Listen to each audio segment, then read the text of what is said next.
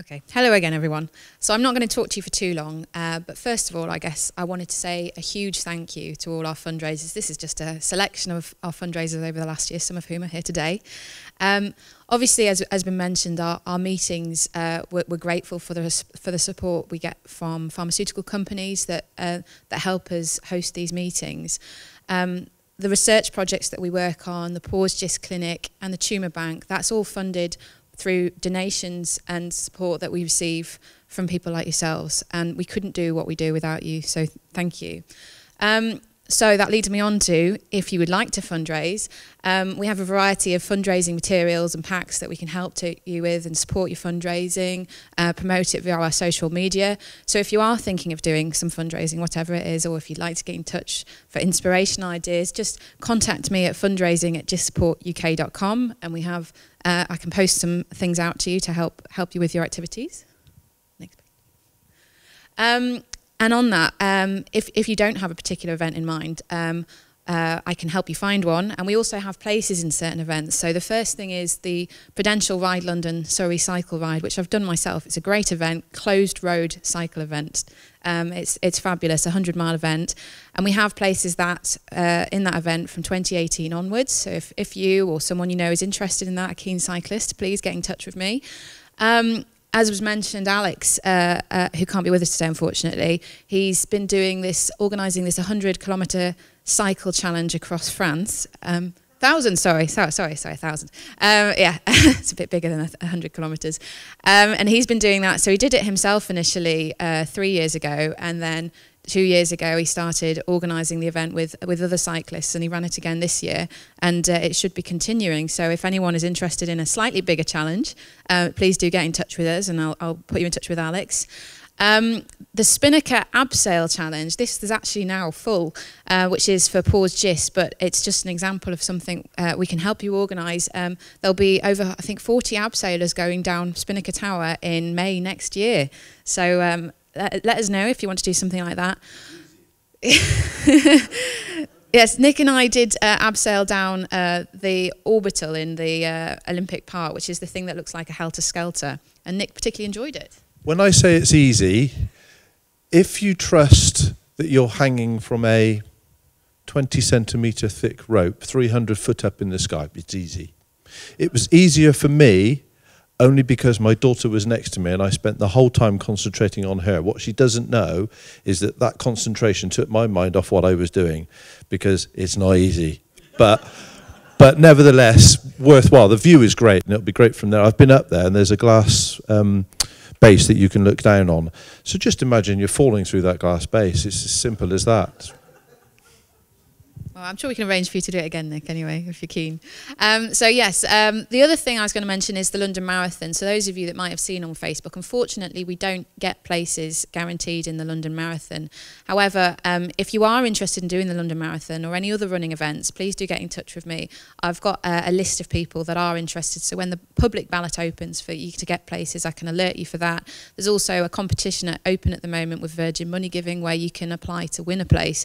So, um, there are ways ways of, of applying for places and um, and plenty of other events that are brilliant to take part in. So if you are interested in a running event, please do let me know. Uh, was there anything else on that slide?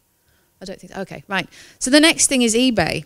Um, we are now registered with PayPal and PayPal Giving Fund. Um, so if any of you are keen eBayers, um, you can select on eBay to donate a portion of the proceeds of an item you sell to charity. Um, obviously, that benefits us, but um, you also get the benefit is in that uh, you don't pay eBay fees on the portion on which you're donating to charity. So, for instance, you're selling an item for £10. eBay uh, at the end will take a final value fee of 10% normally. If you donate, select to donate 50% of that to charity, you'll only pay 50% of the eBay fees, so you'd only pay 50p in eBay fees. Is that my math right on that? so, uh, so yeah, um, take a look at eBay if you're if you're fancying a clear out and and think of donating to uh, GIST Support UK. Next one. Uh, recycling. Get my leaflet. On your tables, you'll see there should be one of these. There's some more over in the gathering area over there. So we're now registered with uh, a company called Recycling for Good Causes. Um, and what they do is they collect items, a variety of items, which includes things like old mobile phones and laptops, which I know I have plenty of kicking around at home. And, uh, and they take these and recycle them. And the money they raise through the recycling of these items, they give us 75% of that, and then 25% goes to their running costs. So if you have any of these items at home, bring them along to one of the meetings and give them to me. Um, if you've got brought any with you today, just pass them on to me. I'll be floating about throughout the day, and uh, and you can raise money for GIST Support in doing so. Now, whilst this company doesn't accept ink cartridges, we also have an agreement with uh, a printing company in Bristol, um, who will accept uh, printer cartridges. They, the only um, exception to this is they don't take toner cartridges or Epson printer cartridges. But if you have any, for instance, HP ones, uh, we get a pound for each printer cartridge, I believe. So if you have any used printer ink cartridges, bring them in to the meetings again, pass them on to me. I'll be floating about. Uh, next one, please. And then this brings on, me on to ways to donate. So, like I said, if you're doing a fundraising event, uh, the popular ways to to uh, to raise money for GIST Support UK is set up a, a Just Giving page, Virgin Money Giving. Uh, we're registered with both of those. If you need any help at all setting up one of these pages, just, just give me a shout at the email address and I can do what I can to help. We'll shortly be registering with another service, a platform like this called BT My Donate. Um, the reason we're registering with them actually is because these websites charge fees to the charity and BT My Donate is quite uh, innovative in that it doesn't charge us any fees. So I'll be promoting that soon. Um, other ways, you can also do a direct bank transfer. I can send you the details if you need. Uh, you can post as a cheque to our treasurer, David. The details of where to send that are on our website, or I can send it to you.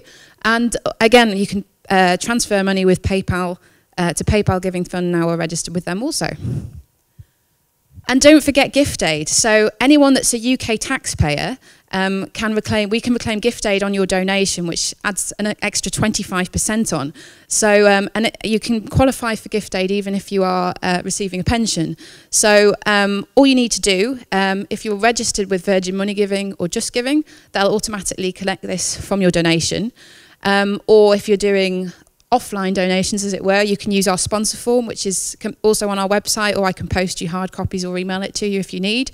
Or if it's just an individual donation from yourself, you can complete a gift aid declaration form. Again, this can be found on our website, or I can send you a copy. And that's, that's enough of the, the fundraising and donations. Just an activity that I've got today for you, which leads us nicely onto our first talk, is um, I'm trying to gather information on side effects. So can you put your hands up in the room if you're taking either imatinib, sunitinib, or Gleevec, uh, at the moment? So quite a few of you. Or have you ever taken one of the drugs? So quite a few. So one of the, the gaps, I think, at the moment in our, our literature is guidance for patients on side effects, particularly on sunitinib and regorafenib. And what I'd like to do is get your experience of taking these drugs. So there's a whole range of side effects that people seem to, to find on these drugs, and it varies from person to person.